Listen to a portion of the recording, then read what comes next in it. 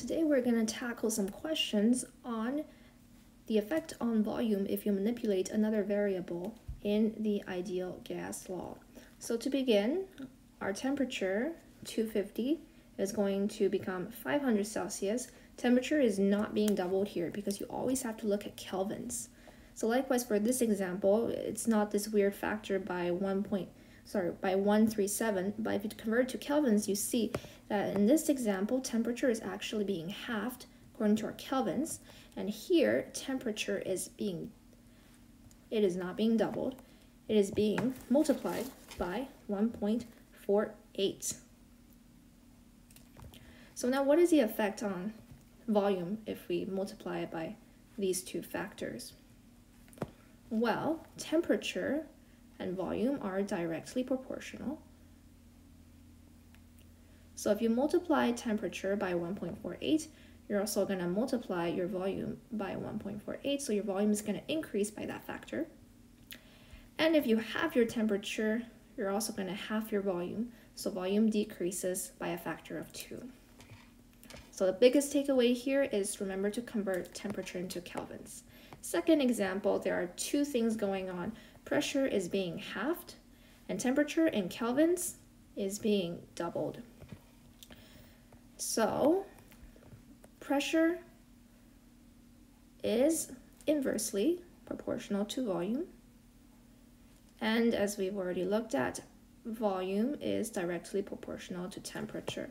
So we know, obviously, by multiplying temperature by 2, your volume will increase by 2, by a factor of 2. And as for the pressure and volume relationship, So the pressure and volume relationship, you see how we're halving pressure. So that means we have to do the inverse to volume, which means if you halve pressure, if you divide pressure by 2, you're going to multiply volume by 2. So what it actually looks like in steps, 2v. So if you have these two things going on, 2 times 2, that means your volume will be quadrupled. Okay.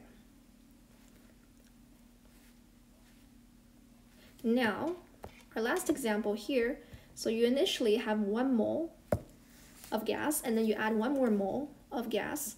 So in total you have two moles.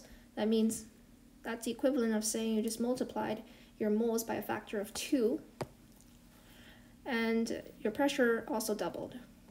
So a big note here, so if the question says you added four moles of gas you have to be careful. That might mean you end up having five moles of gas because of the initial gas that is already there. So be careful of your total number of gas. So total number of gas is not always the amount that you add. It's the amount of gas in total that you add and the amount of gas that was already there initially. Okay, so our moles and our volume is directly proportional and our pressure is inversely proportional to volume. If you double your number of moles, you're to end up doubling your volume. And if you double your pressure, that means if you multiply pressure by 2, you're to do the inverse to volume. That means you're to divide volume by 2. So to put it simply, And if you divide volume by 2 and then multiply volume by 2, what you will have is your net volume is no change. No change in net volume.